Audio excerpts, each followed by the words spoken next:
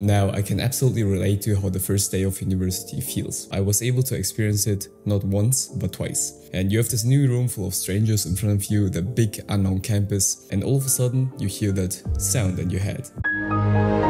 I'm gonna tell you how I survived the first day of university. I'm making this video for younger Max who graduated from high school and didn't know anything about university life. I could have done a lot of things better and also I don't want you to make these mistakes. On my first day of university, I had the exact same thoughts as you. At my uni, they had an onboarding day, they made an entire event to host socializing activities and bring all the new students together. So early in the morning, I stepped into that big room full of strangers and at first I didn't know how to act, you know, who to talk to, what to talk about, and so on. And for the first couple of minutes, I really had to quiet the annoying voice in my head, saying things like, Dude, going over to that group of people is cringe. Or you're gonna be alone, live alone, die alone. Everyone is making friends, and you're just standing there. Everyone is staring at me. And you're standing there like, Eventually, your brain realizes that standing around all the time is not a solution. Your natural instinct kicks in and you maybe ask someone if you could sit next to them, or if you seem like an approachable guy, someone is inevitably gonna start talking to you. Trust me, it's gonna happen. So I did the first one, I just casually looked for an empty seat next to someone who seemed nice and said, hey man, is this one empty? And yeah, simply asked the person why he chose this degree program. And skadoosh, I had a solid flowing conversation. It might seem easy from the outside, but let me tell you, for me, the first couple of minutes of an interaction with a stranger is always awkward. I believe it's the introvert in me, I'm someone who absolutely doesn't like small talk. I deeply, deeply dislike it, and I try to avoid it whenever possible. I prefer deeper conversations that usually give me way more energy and also more meaning. But the thing is, to get to these deep talks, I first need to briefly do some small talk. It's absolutely inevitable. So at some point, I push through and suffer for a couple of minutes. But with every suffering comes a reward. And after talking to other people, I learned afterwards that most of the people felt the same as I did. So the first day, basically, everyone sits in the same boat. Everyone is there to make new friends. And I'm sure that the other person would love it if you came up and talked to him or her. Granted, you're not a complete weirdo, which I'm quite sure you aren't. Let me tell you, there's always this irrational fear that you're gonna find no friends, live lonely, die lonely, but you'll always find people. I think we can all agree about the fact that the people are the most important aspect of university, and they are the ones who make the entire experience so valuable. They're gonna remind you of deadlines, you suffer together and win together. It's not necessary to be friends with absolutely everybody because this also comes with its downsides, but having a couple of solid people around you is life changing. The thing I noticed is after one week or so, most of the groups have already formed, and then it's really, really tough to join one. So I want you to put all your energy into socializing on the first days, because this is literally where most of the friendships are made. And yes, also for introverts. I know it can sound scary, and as an introvert myself, I had to put a huge amount of energy into that. At the end of each day, I was definitely exhausted as fuck. And it's actually a lot of socializing. In our case, it was from 9 in the morning until the evening, almost non-stop. But there is also a reward for this effort because getting to know nice people always feels great. It doesn't matter if you are an introvert or extrovert. So for me, the mindset played a huge role here as well. So I came from another country. I actually moved from Japan to Germany to go to university.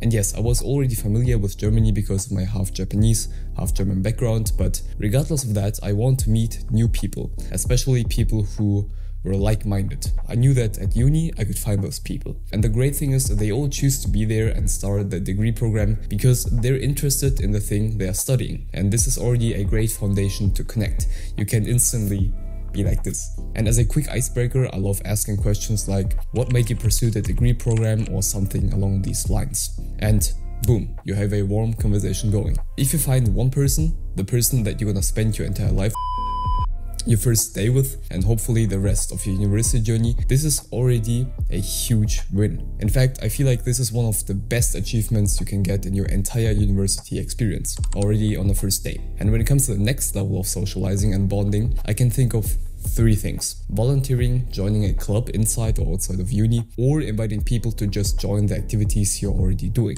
So, for example, I asked a couple of people if they want to go to the gym with me, and it worked out pretty well. I was able to get a couple of gym buddies. I'm still learning to fully implement them myself, but over the years, I figured out some good tips, especially for quick bonding that might help you out on the first day. So, it's solid eye contact, you know, physical touch if it's appropriate, and a lot of deep questions, laughing together, and being a extremely extremely good listener. You don't need to be a master of all of them. I found that just using two of them well is already enough when starting out. And another important thing is to stay approachable. You know, people can notice from your body language if you're an open individual or not. And I had to learn that over the years. And if you're not the best orator in history and your social skills are not a solid 10 out of 10, at least being approachable is extremely helpful because you know that one extrovert guy is gonna find you and talk to you. So the goal for the first day, as simple as it sounds, I want you to implement this as an actionable step. Be socially aware and talk to people and talk even more with those ones you resonate the most with. You're instantly gonna notice if you both are compatible or not.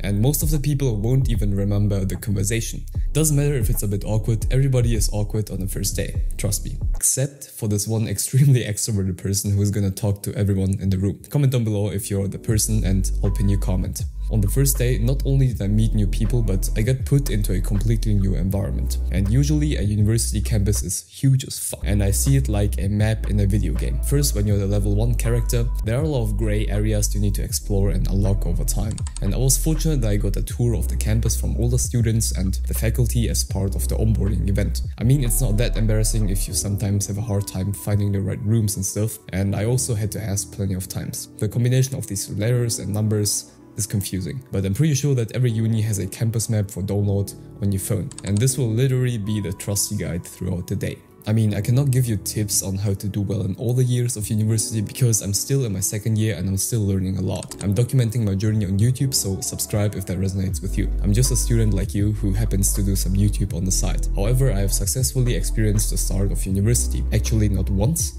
but twice. After graduation and moving from Japan to Germany, I started studying physics at Germany's most prestigious university. I dropped out after two months, took a gap year, and now I'm studying computer science and design. And this week was actually the start of university, but for me, it's my third semester now.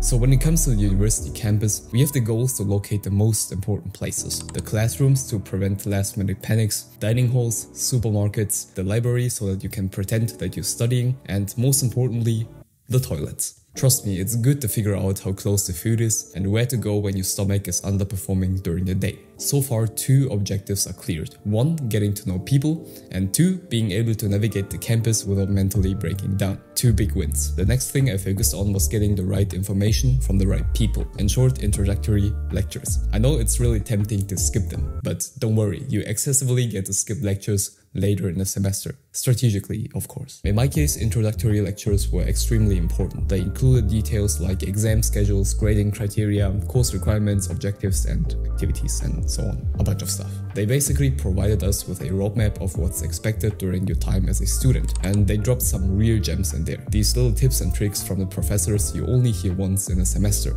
You don't want to be the person who three weeks later desperately asks around because you literally missed every possible opportunity at the start to get informed. Please don't be the person. Also, you don't have to talk to any of the professors and try to be homies with them on the first day. No, please don't be the weird person who just hangs around the professors all the time and asks annoying questions. If you're one of these guys, comment down below, but I won't pin your comment. So here we also have a simple goal in mind. Get all the important dates, requirements and information about the semester right away. When it came to things like making a study plan, academics or time management, I didn't focus on them at the start of university. All these things can come later when everything is more stable and you actually have the headspace for that. On the first day, my head was already overloaded with all the different names. I started to think about these things maybe in the second week when the most important things, friends, environment and information were already checked. So on the first day, you're either extremely nervous or extremely excited, but this is literally part of the university experience, and I try to be as active as possible during the time. After surviving the first day, you're gonna feel a sense of achievement, but surviving the rest of the first semester is a different demon to conquer, and also a whole other story.